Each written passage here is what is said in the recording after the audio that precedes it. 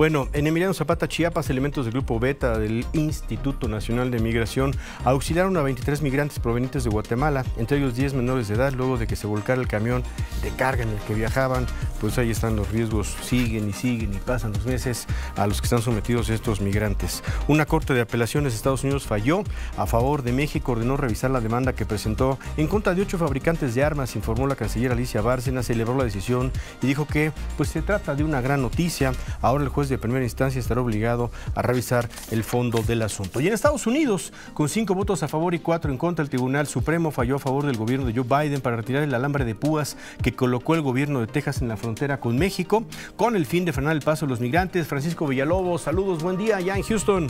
Gracias Manuel, muchísimas gracias, muy buenos días amigos de Grupo Fórmula. Pues bueno, con un fallo de cinco votos a favor, cuatro en contra, la Suprema Corte de la Nación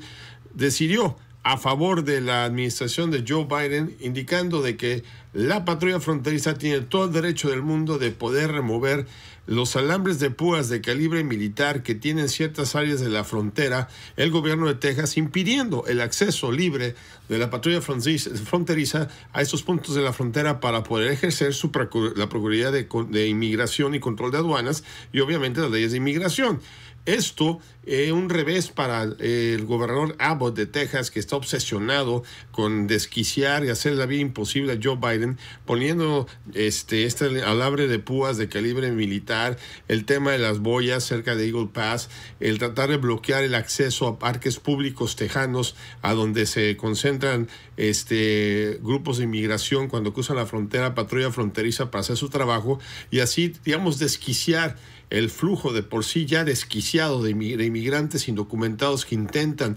predominantemente venezolanos buscando asilo político,